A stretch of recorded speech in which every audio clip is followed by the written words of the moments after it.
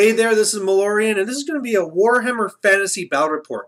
And kind of a, a special one for me, because it's my first time facing uh, one of these battle scrolls. So what Games Workshop is doing is over the Christmas season, they're releasing some of these battle scrolls, where if you take these certain things, you get this bonus. And they're really based around the type of Christmas packages they're giving out. And so the one I'm going to be facing today is the Vampire Count one. So this one, you have to be taking a lot of ghouls and stuff like this. You also also have to take the Graveyard. However, um, if anything around the graveyard you can give out regen to. I believe if you already have regen, you get to re-roll it. Uh, you get extra channel attempts if you're vampire or death, and uh, any enemy around it are minus one leadership. The big negative is that you have to take another unit of 20 ghouls that don't count against your core. So normally you take as little core as possible, but in this one you take a little bit more. Uh, there's probably more details, or maybe I screwed something up. I'm doing this off of what was told to me. I didn't read it, but uh, it's going to be kind of interesting. So let's see what happens.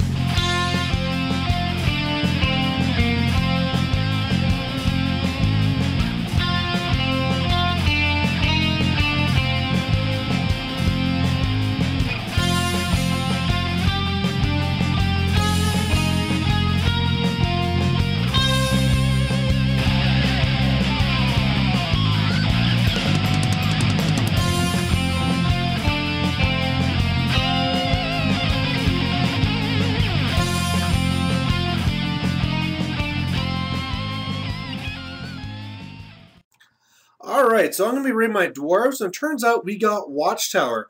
I won the roll to see who took it, and I decided to take it because of these 20 Quarrelers.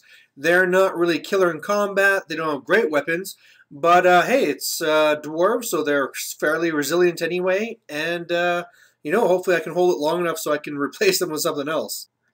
Uh, on his side here, so you can see that he's going to be having this uh, Ghoul Lord. I forgot the name of this stupid thing now. It's not the Vampire Lord. It's like the Ghoul version. Uh, but he also has a level 4 in the back there, a level 2. The level 4 is Vampires, level 2 is Death. And uh, these guys uh, can be pretty killer against the building there. That Vampire Lord is a Blender Lord, and uh, that makes it kind of scary. He also has a Banshee in there too. So overall, the board looks like this. You can see he has his free graveyard there, and then there's the building, the watchtower in the center. On the far left, that's a Temple of Skulls. The next thing is an Elven Waystone. I have a fence on my side, a Mysterious Forest, and on the far right, there's a Charnel Pit.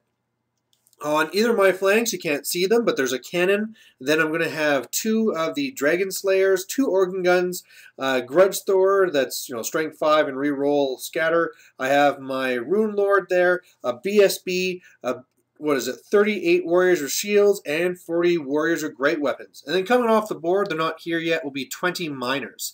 On his side, he has some zombies on the left, the zombies back there with those casters, those hex wraiths, uh, skeletons with the vampire lord, well, whatever he's called, like uh, God, I can't remember his name. I don't if I try. But then there's the Crypt Horrors, uh, more skeletons. There is a Mortis engine, and then some more ghouls. So lots and lots of core, which I'm not really worried about.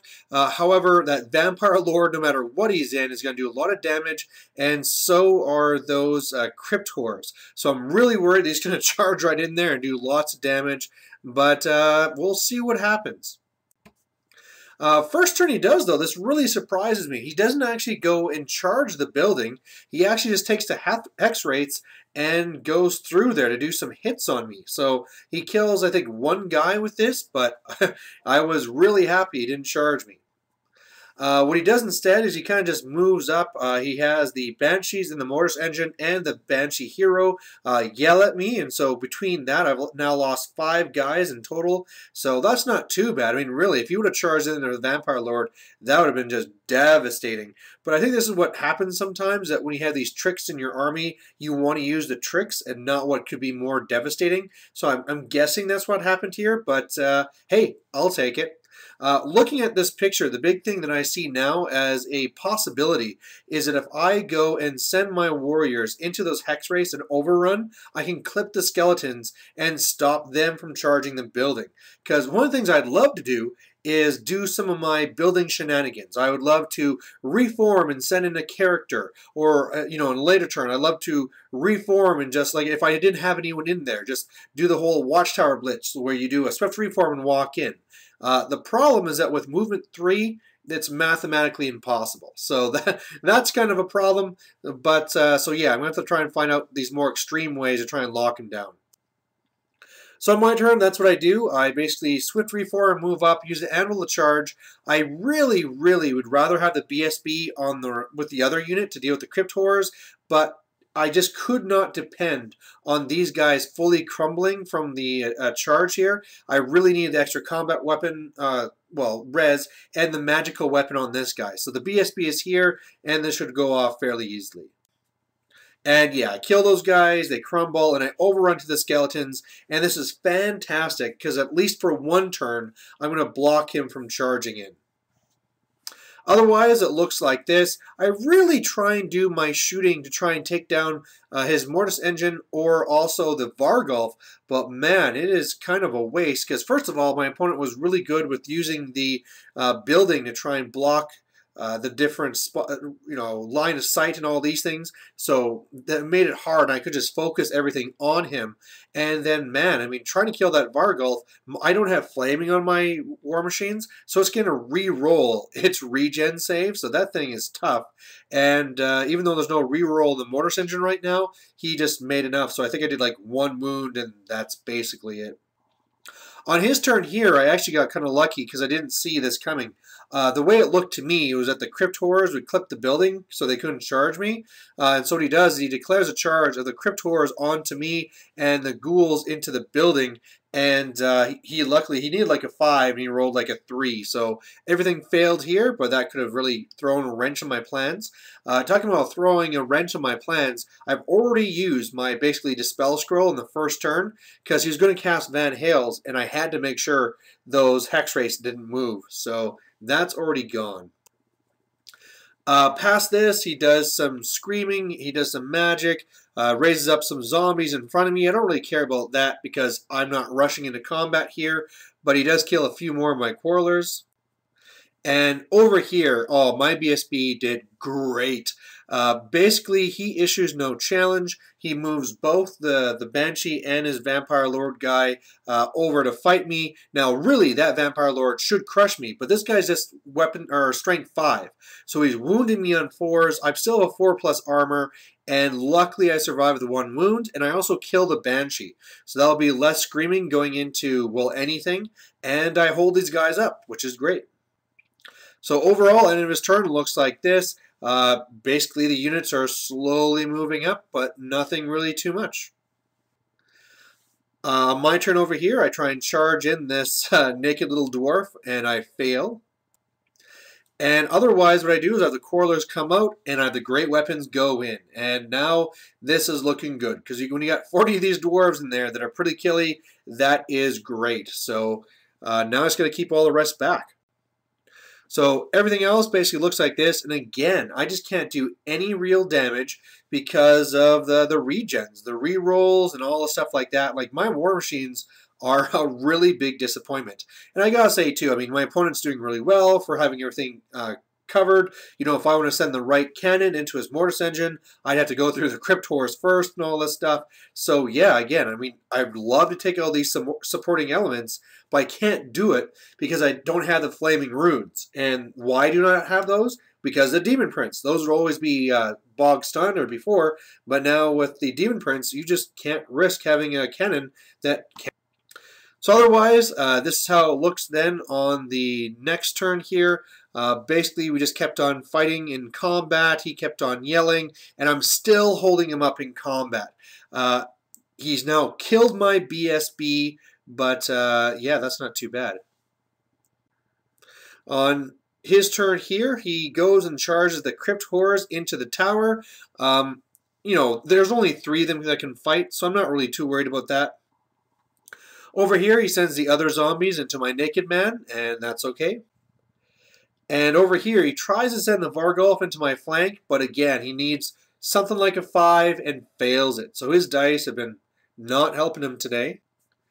And otherwise with this, he does some magic here, does some screams and all this stuff. And uh, you can see here, it's really tightly packed. All this fighting around the Watchtower. And this is what I love about Watchtower. This is what it's supposed to be all about. The armies all bunched around, trying to fight over this tower, and uh, yeah, I love it. So otherwise, oh, yeah, it was bound to happen. Uh, he now beats and breaks my uh, shield warriors. Uh, luckily, I got away, so I still have them. Uh, he was able to get off some magic so that he had the re-rolls to hit on the Crypt Horrors, and with that, he's able to kill some of my guys. But the main thing here is that I am minus one leadership from the graveyard and also minus one leadership from the actual vampire power he has. So for these fear tests, I'm just on leadership 7, and I've already had to sacrifice my BSB, so this is a dangerous spot where, you know, I can be losing combats because of failing fear tests, and then I might be steadfast on a 9, but if I just fail that, I'm in a lot of trouble.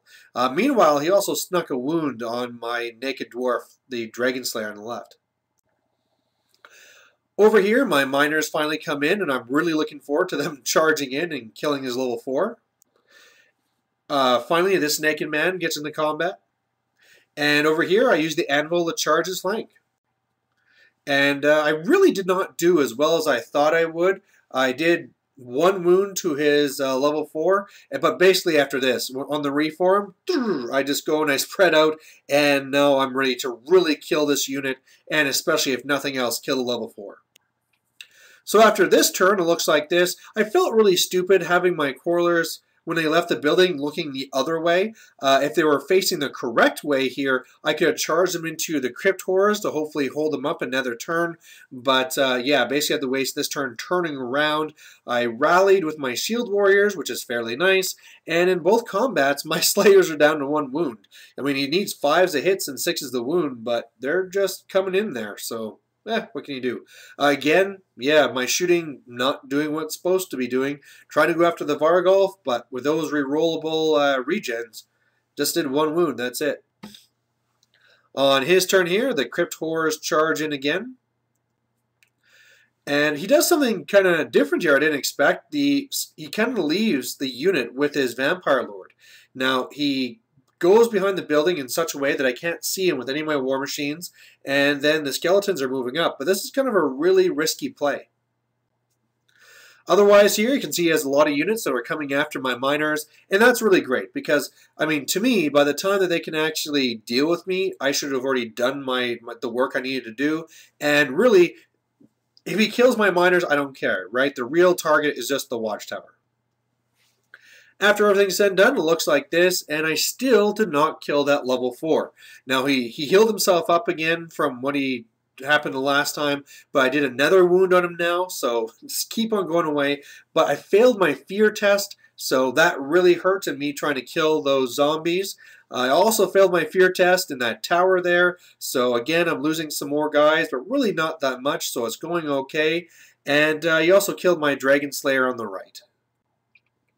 On my turn, uh, so I, I now have these Quarrelers turned around to deal with him. I put on a Stone Thrower onto his skeletons. It scatters. I re-roll. It scatters again. And I kill almost all my Quarrelers. So they're ineffective now. Otherwise, I charge into these skeletons. Should be an easy fight. But after everything's said and done, yeah, I failed my fear test against the skeletons. I fled. Uh, luckily, I got away. And then on the left, still fighting those zombies.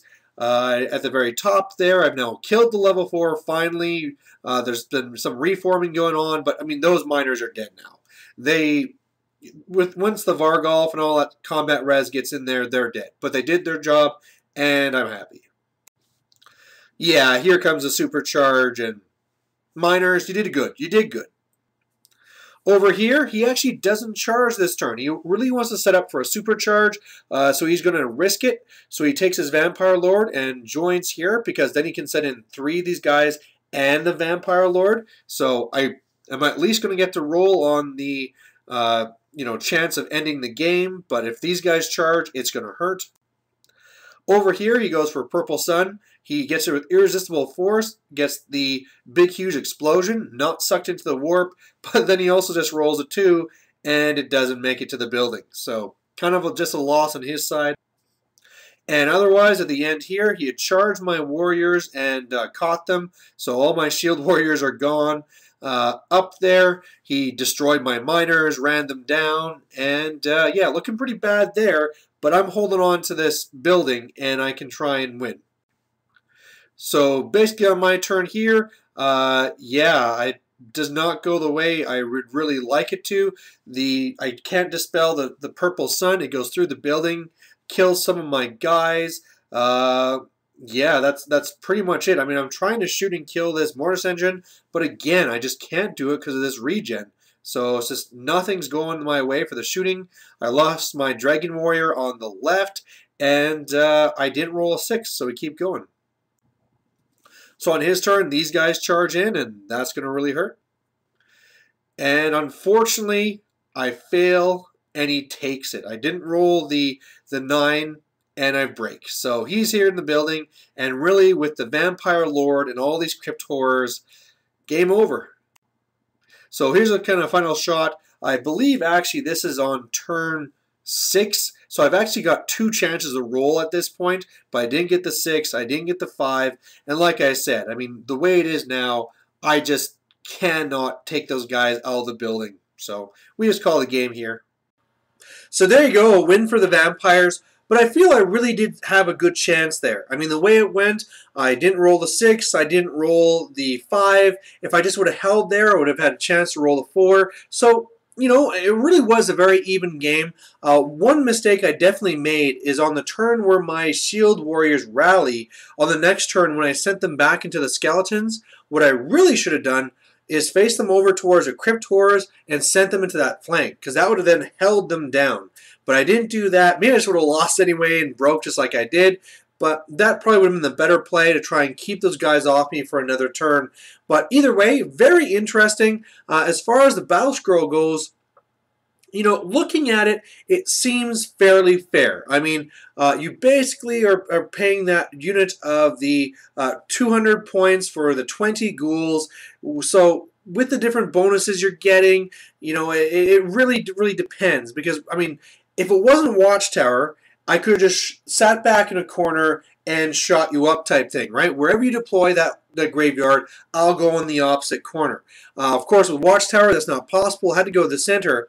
But I really think in friendly games, if somebody ever wanted to use one of these, I would never say no. These seem to be very balanced. Uh, I think in a tournament, though, I'm not really liking the idea of it, and it's not really so much the bonuses, the, the regen and all that stuff. I think it's more the graveyard. That's the thing that I actually think wouldn't work in a tournament. I know going back, uh, a lot of times for the Wood Elves, they got that free forest. And in tournaments, it would be banned because, especially in seventh, Woods was very more, a lot more powerful. And depending where you placed it, you could really control the board. And you can do the same thing with this graveyard. It's a very large, large footprint.